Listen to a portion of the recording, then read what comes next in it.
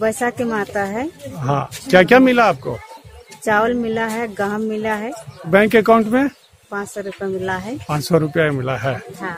तो किसको धन्यवाद देते हैं? मोदी सरकार को देते हैं।